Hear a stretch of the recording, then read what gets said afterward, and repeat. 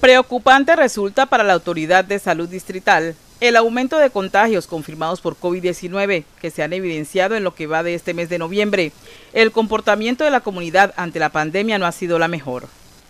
Los 22 días del mes de noviembre eh, llevamos ya 181 casos eh, positivos para COVID-19 a diferencia eh, del mes de octubre, en el cual cerramos el mes con 91 casos, se puede evidenciar un notable aumento de los casos en este mes, eh, preocupante, preocupante porque eh, no solamente aumentan los casos positivos, sino que también aumenta el número de pacientes fallecidos.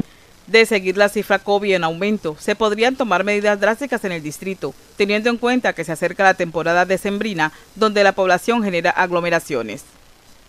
Efectivamente, si continuamos en ese comportamiento, con este aumento significativo de los casos positivos de COVID-19, eh, podríamos estar hablando de nuevamente unas medidas drásticas eh, en el distrito de Buenaventura eh, para evitar con la, que la propagación continúe. Entonces, es importante esa, ese cumplimiento de las medidas, evitar esas, esas, reuniones sociales en las cuales pues no, no, no podamos cumplir con, con los lineamientos para evitar la propagación. Entonces, eh, esperamos porque definitivamente estaríamos hablando de un posible pico para el mes de diciembre si continuamos con ese comportamiento.